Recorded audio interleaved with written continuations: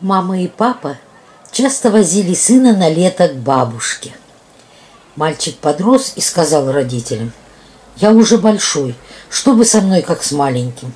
Я и сам могу к бабушке доехать». После недолгих споров родители согласились. Стоят они на перроне, провожают, дают последние советы, а сын все твердит. «Да знаю, я знаю, сто раз уже слышал».